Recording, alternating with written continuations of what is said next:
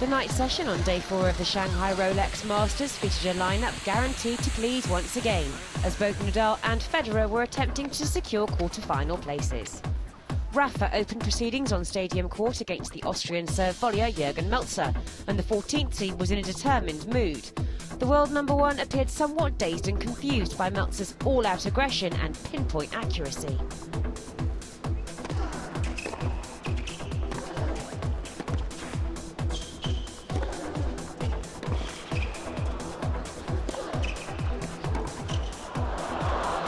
That's phenomenal.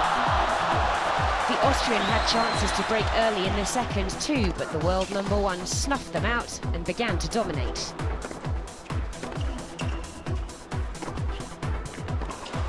Whoa! That's impossible. I thought he'd run like this in the opening set where Jason said that Melzer should have covered the line. That time Melzer is going toward the line and the ball goes back behind him. That angle is not possible. It all came down to a decider. Rafa was in the ascendancy, but Melzer's patience and courage was immense, and he didn't deviate from his game plan. It's exquisite feel under extreme pressure. The world number one saved three match points in the eighth game, but he couldn't make it through.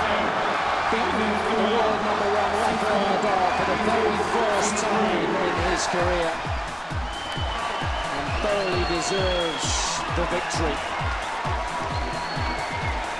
Advances to the quarterfinals here in Shanghai.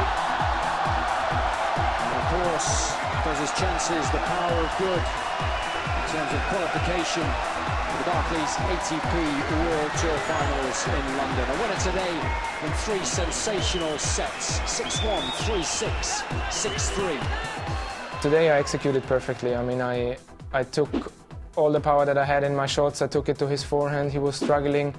Um, he started also to miss balls, which is very unusual for him. So I took my game at him and I tried to play my game and not letting him to play his game. But I mean, you don't, you don't play like this every day, especially against Rafa. But today I did and I'm really happy.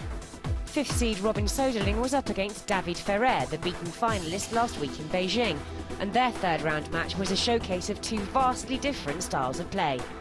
The big Swede had the 11th seed scrambling around the court with the sheer weight of his ground strokes.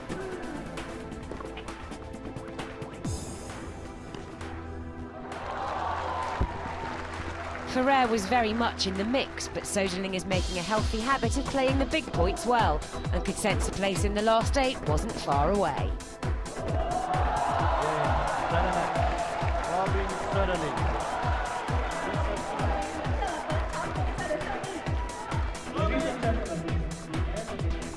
The final match of the day on Stadium Court featured third seed Roger Federer versus Italy's Andrea Seppi. And the Swiss maestro was in a merciless mood.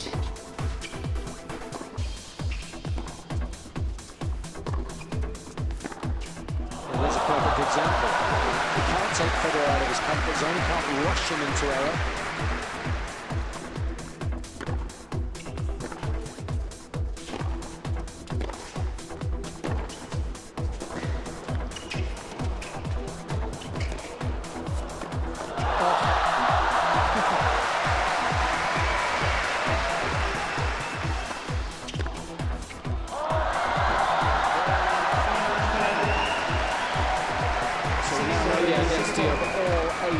Quarter-finalists. Federer, the last to join that illustrious list, uh, beating Seppi in straight sets. Yeah, I'm happy. It was a tough match. We had some really long and tough rallies with Seppi today. He's a quality player. He doesn't miss much, and he always stays on defensive. So I really had to work hard in the, in the defensive myself. And towards the end, started to feel his stomach. He wasn't feeling so well. And I think also it was a tough rallies and the thick air in here somehow. It kind of just works you up, you know. So I was able to take advantage of it and just pull away with the victory. Uh, I'm very happy. It was a tough match, and uh, I'm excited about next match. It was an action-packed day at the Shanghai Rolex Masters with most of the seeds progressing to the quarter-finals. Except, of course, for the world number one, Rafa Nadal. It's been a day to remember for Jürgen Melzer, producing the performance of his career on Stadium Court. It's down to the last eight tomorrow, and you can see all the action live on tennistv.com.